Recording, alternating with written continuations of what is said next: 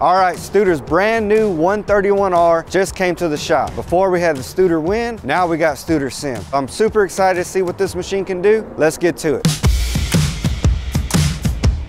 With the other Studers we had, not only could you locate on a fixture plate, a magnetic plate, or some sort of chuck, you could also locate between centers. With this 131R, it's gonna have only chucking capabilities. Now that's gonna allow you to grind the ID of parts, but you're not gonna be able to do it between centers. That's gonna be more of an OD grinder with ID capabilities. So just like all the other machines that we've had, this S131R is gonna come with the Granitan base. That's gonna give thermal stabilization, which is gonna be increased dimensional accuracy, and it's gonna allow the coolant to flow through that table and cool everything down. That way everything stays at the right temperature. So the S131R just dropped on our floor. We've got the brand new core panel with Studer Sim integrated into it. And inside the machine on the right side, we've got three ID spindles hooked up and then we have an OD spindle as well. So what's cool about it is it's a radius grinder.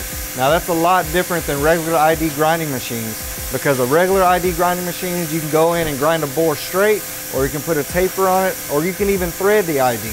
And with this sort of machine, you can actually go in and the B-axis is gonna swivel what's known as their infinite B-axis. We'll talk more about that later. But you can actually swivel that B-axis and create a perfect radius. Now that's a huge thing for mold making and draw dies. You have to have that radius in there and it's gotta be perfect and polished because once you go to draw out that sheet steel, it could crack if there's a sharp corner on it. What's cool about this machine too is you have a 60,000 RPM spindle. Now that's booking it, but you have to have a high-speed spindle like that because the surface feet on this small of a grinding wheel is so small that you have to compensate with a higher feed rate. Kind of like on a mill, if you have a smaller drill, you got to go faster. If you have a big drill, you got to go slower. Now another cool feature about this machine is that it has a contour grind. And what that means is instead of going in and out of a bore and just making that hole larger, you can actually pick a spot on the wheel and then follow a contour if you needed to. And on the left side, we've got our three jaw chuck. You can change this out with other chucks. And we've got a rotary dresser. That's gonna allow us to dress all four of our grinding wheels. So now what we can do is we can go to our Tyrolit auto lock cabinet and we can grab some wheels to put inside our machine. Now an example we got is we got a CBN wheel and a diamond wheel. And in the back we've got aluminum oxide wheel that we can use with our rotary dresser. So the older machines came equipped with the legacy control. What United Grinding does now is every machine comes standard with the core panel. So what the core panel does is not only does it unlock classic mode, which allows you to go from FANUC to Studer Sim in this case, but you can also connect virtually through digital solutions as long as you have internet connection. Now what Digital Solutions does is it allows you to connect to what we have, the cyber chair or your home computer. So what that means is you can monitor the machine from anywhere in the world. Now if you go to the Grinding Academy, you can actually learn how to operate the machine and navigate the core panel. So right here we got our mist extractor. So you can actually open and close your valve. And what that's gonna do is it's gonna allow more airflow in inside and out of your machine. So this right here is gonna be your electrical cabinet, and this right here is gonna be the chiller box that blows cool air in. It helps keep your electrical components from overheating. This right here is gonna be your spindle chiller. What that's gonna do is it's gonna keep your bearings nice and cool, that way you don't overheat them. That's super important when you have a 60,000 RPM grinder or a 120,000 RPM grinder. So now on the right side of the machine, we have our fire suppression unit. Now, since we're grinding with oil, we're gonna be using a carbon dioxide suppression unit because you cannot put out an oil fire using water. So that's why we're gonna be using carbon dioxide. We've got our siren, that's gonna be a audible siren. That means it's gonna let you know that something's going wrong and it's extinguishing those flames. On the top, you have your oxidizer. That's gonna make the carbon dioxide smell wintry fresh. Now that's kind of funny, but what it's for is to make sure that if it's leaking, you can actually smell it, similar to how they put the egg smell in propane. Inside the machine, it has a heat probe.